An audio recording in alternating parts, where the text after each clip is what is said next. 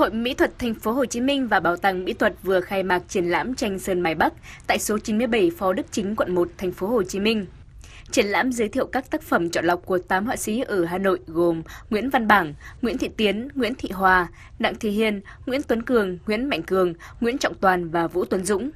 Triển lãm như một chút hương vị phương Bắc mang vào phương Nam làm ấm áp cho người xem giữa lòng phố thị Sài Gòn tấp nập.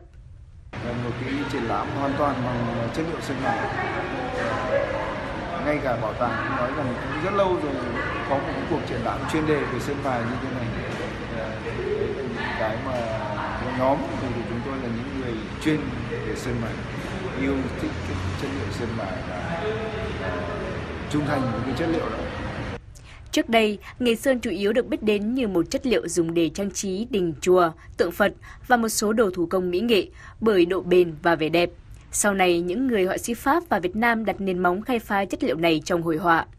Cách đây hơn nửa thế kỷ, sơn mài bắt đầu được chú ý và được các họa sĩ với khả năng biểu đạt phong phú đã phát triển loại hình nghệ thuật độc đáo này.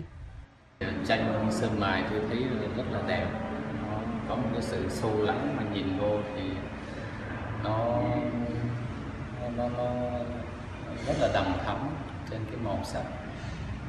Triển lãm Sơn Mài Bắc sẽ diễn ra từ nay đến ngày 30 tháng 10 năm 2017.